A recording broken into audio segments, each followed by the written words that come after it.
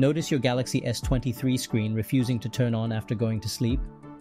This frustrating issue of the display not waking up is commonly caused by software bugs, app glitches, or incorrect settings.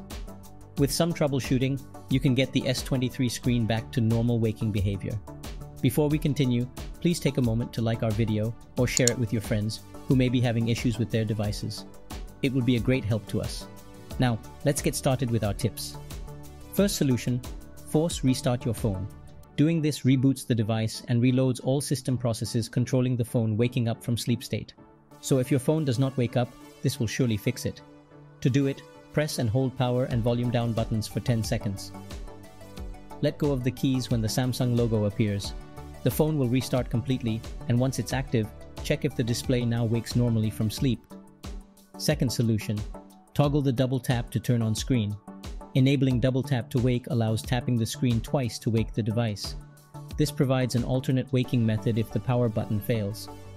To enable the feature, simply navigate to Settings. Scroll down and select Advanced Features,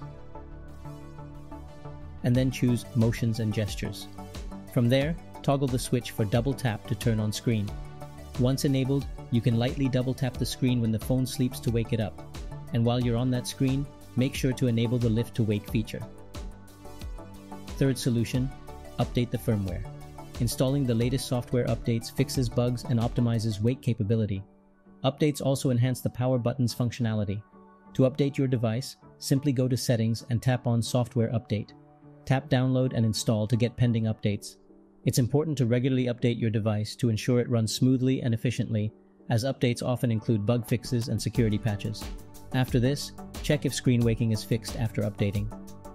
Fourth solution, factory reset your device. If the problem persists after following the previous steps, you must reset your phone to factory settings. However, make sure to create a backup of your important files and data before doing so. To reset your phone to factory settings, go to Settings, then General Management,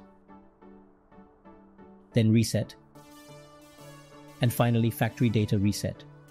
Select Reset and confirm when prompted. After the reset, test your phone if it wakes up normally after being idle. In most cases, these are the solutions you need to take to fix a problem like this. However, if the issue continues, then you have to get your phone checked. We hope that we've been able to help you. Thanks for watching.